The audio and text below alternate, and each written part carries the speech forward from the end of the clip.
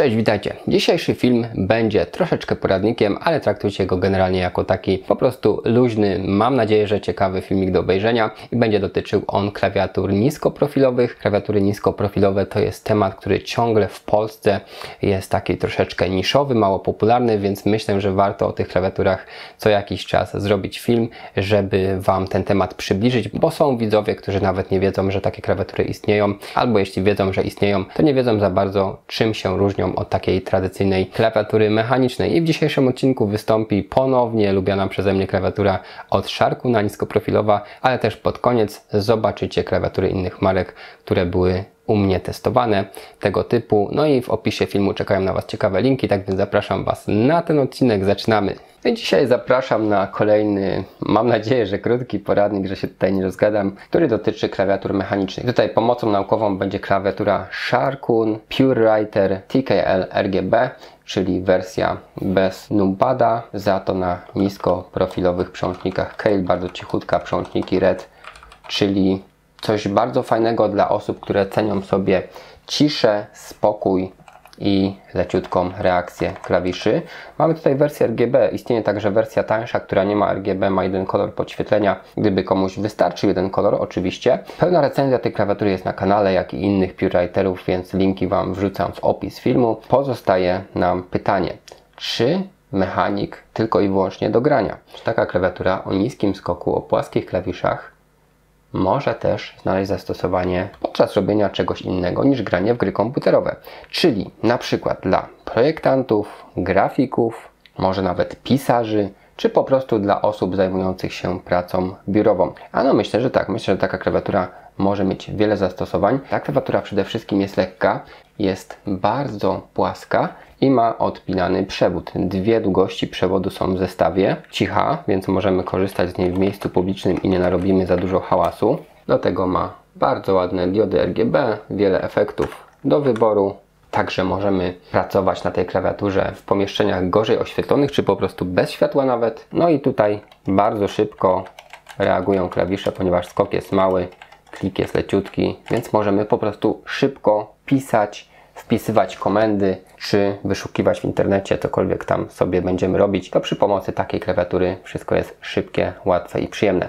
Oczywiście to nie jest jedyna klawiatura niskoprofilowa na rynku. Na moim kanale widzieliście testy kilku marek, tak więc wybór jest, ale tutaj Sharkun jest jednym z ciekawszych przedstawicieli. To jest tutaj też fajne, że jeśli ktoś jest przyzwyczajony do pracy na laptopach, czyli na komputerach przynośnych, no to tutaj będzie czuł się jak w domu, ponieważ ten klik jest bardzo, bardzo podobny do klawiatury laptopowej.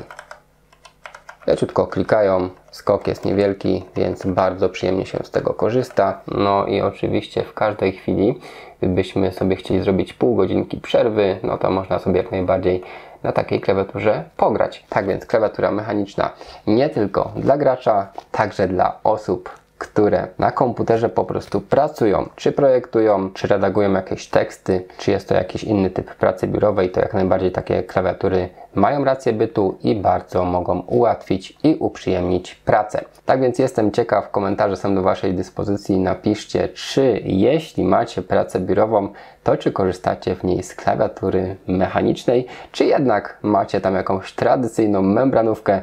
Na ogół w biurach są jakieś HP, Logitech i inne tego typu klawiatury tradycyjne ale może tutaj w niektórych branżach coś się już zmienia. Jednak idą troszeczkę w stronę nowoczesności, czyli takich ładnych, niewielkich, szybko reagujących klawiatur mechanicznych.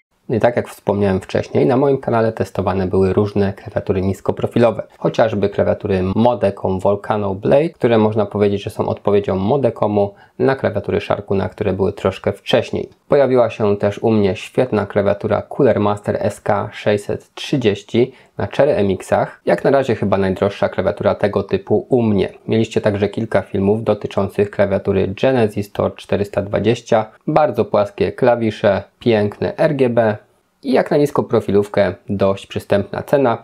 Tym bardziej biorąc pod uwagę, że jest to wersja pełnowymiarowa. Tak więc linki do recenzji tych klawiatur Wstawiam Wam w opis filmu. No dobrze, oczywiście ja Was do niczego zmuszać nie będę, czy wybierzecie klawiaturę membranową, czy mechaniczną klasyczną, czy niskoprofilową. To jest już tylko i wyłącznie Wasz wybór. Ja tutaj tylko Wam podpowiadam takie czy inne możliwości i tak jak chociażby w porównaniach klawiatur staram się nie skupiać na tym, co w tych klawiaturach jest nie tak, ale na tym, co jest właśnie w nich fajnego, dobrego, przydatnego, ponieważ nie ma sprzętów idealnych, tak więc nie można tutaj liczyć, że każda klawiatura, którą sobie kupimy, będzie w 100% idealna, ale chodzi o to, żeby znaleźć taki sprzęt, który jak najbardziej trafi w nasze gusta. I to myślę tyczy się tak myszki, klawiatury, jak i chociażby monitora do komputera. W tym przypadku też mamy duży wybór. Tak więc mam nadzieję, że dzisiejszy film był dla Was ciekawy, przydatny. Jeśli tak, zostawcie łapkę w górę.